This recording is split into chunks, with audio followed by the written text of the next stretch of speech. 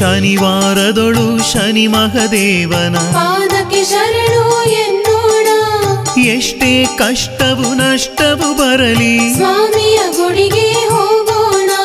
ಪಿಂಗಳ ಪಾದನ ದರ್ಶನದಿಂದ. ಜನುಮವು ಪಾವನ ಎನ್ನೋಣ. ಕಾಡುವ ಚಿಂತೆಯ ದೂರ ಮಾಡಲು. ಪಾದಕ್ಕೆ ಶರಣು ಎನ್ನೋಣ.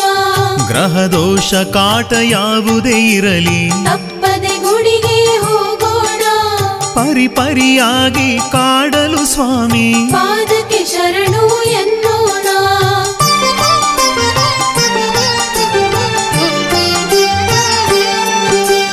ಸಾಡೆ ಸಾತಿಯ ದೋಷ ಕಳೆಯಲು. ತಪ್ಪದೆ ಗುಡಿಗೆ ಹೋಗೋಣ. ನೀಲವರ್ಣ ನೀಲಾಂಜನ ದೇವನ. ಪಾದಕ್ಕೆ ಶರಣು ಎನ್ನೋಣ ಕರಿ ಎಳ್ಳಿನ ಬತ್ತಿಯ ಬೆಳಗಲು. ಸ್ವಾಮಿಯ ಹೋಗೋಣ ಜ್ಯೇಷ್ಠಾದೇವಿಯ ಪತಿ ಮಹಾಶಯನೇ ಪಾದಕ್ಕೆ ಶರಣು ಎನ್ನೋಣ. ಕಶ್ಯಪ ಗೋತ್ರದ ವಿಧಿ ರೂಪಧರನ ಸ್ವಾಮಿಯ ಗುಡಿಗೆ ಹೋಗೋಣ. ಎಳ್ಳಿನ ಆರತಿ ಬೆಳಗುತ ಸ್ವಾಮಿ. ಪಾದಕ್ಕೆ ಶರಣು ಎನ್ನೋಣ. ಉದ್ದಿನ ಕಾಳನು ಪಾದ ಕರ್ಪಿಸೆ. ಸ್ವಾಮಿಯ ಗುಡಿಗೆ ಹೋಗೋಣ. ಕಪ್ಪು ವಸ್ತ್ರವಾದಾನವ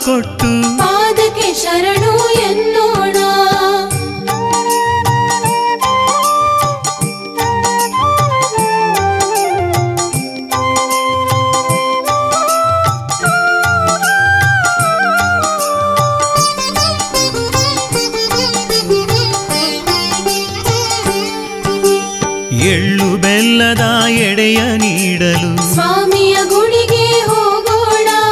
ಶನಿವಾರ ಸ್ವಾಮಿಯ ಸ್ತೋತ್ರವ ಮಾಡಿ. ಪಾದಕ್ಕೆ ಶರಣು ಎನ್ನೋಣ. ಯಾವ ಕಾರ್ಯವ ಮಾಡುವ ಮೊದಲು. ಸ್ವಾಮಿಯ ಗುಡಿಗೆ ಹೋಗೋಣ.